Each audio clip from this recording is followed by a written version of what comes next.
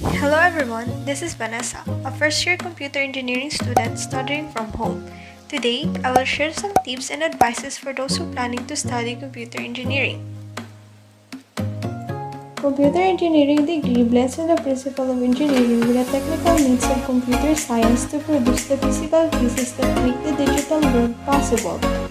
This means without computer engineering, computers, laptops, and phones we are using is not possible today as it involves constant designing and developing powerful components like circuit boards, microchips, video cards, processors, hard drives, and routers.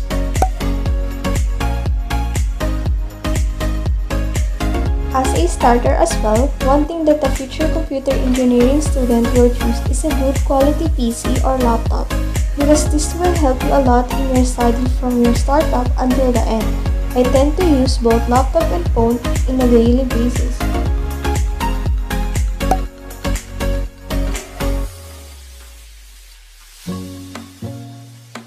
Laptop is very important to me when doing my homeworks and activities. Also, it is very essential in programming and other stuffs since it was easy to use than phone.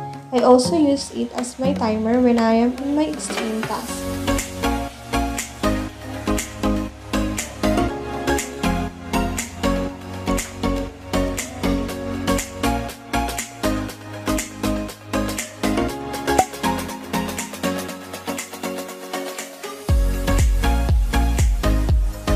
Is your phone getting in the way of your productivity and focus? In note taking is very effective to me and most of the time I use phone when attending my class rather than using a PC. In this way, it will be easy for me to capture important notes and to focus more since I cannot open other apps except my Teams.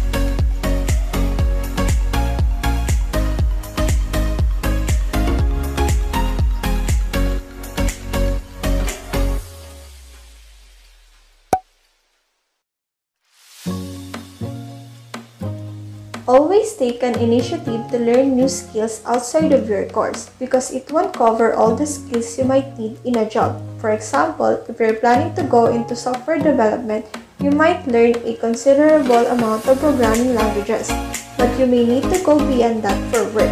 It is a good idea to look for tutorials of different programming languages in the internet if you have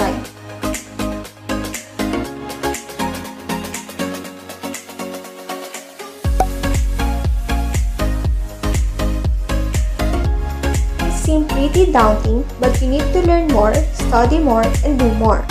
But don't forget to live your life. Your studies are critical, but they shouldn't be the only thing in your life. Take a rest and do what you want, like your hobbies. In my leisure time, I often use these gadgets in playing music and watching K-dramas, and even connecting with friends during this pandemic. Technology makes things easier for us in everything, especially in studying. But remember to have balance to produce a much more positive thing in life. Relax, have fun, and good luck, future engineers.